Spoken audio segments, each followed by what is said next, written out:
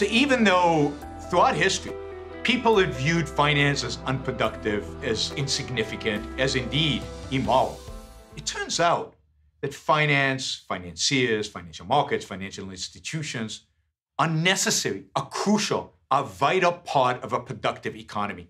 Indeed, for human beings to flourish, flourish materially, be successful as we have been since the Industrial Revolution in producing vast amounts of wealth and raising our standard of living, enhancing our quality of life, and even extending our physical life.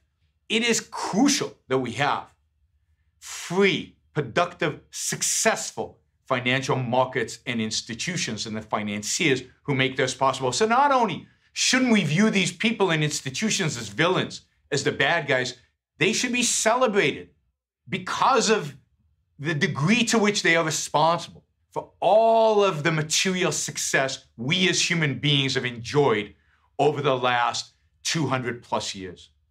Finance is responsible for the allocation of capital across the entire economy.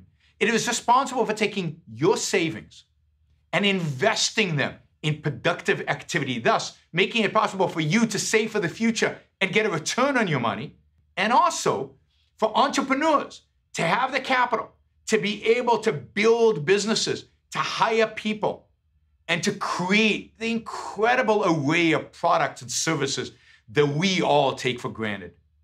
There would be no automobile industry, no airline industry, no high tech industry, no biotech industry today without the existence of complex, sophisticated, and relatively, relatively free financial markets and institutions who discovered these entrepreneurs, were willing to take a risk on these entrepreneurs, allowed these companies to grow by providing them with additional capital, making all the material wealth around us possible.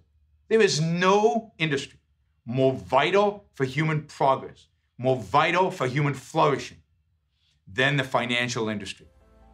And if you want more details on, on you know, what do hedge funds do? What do private equity funds do?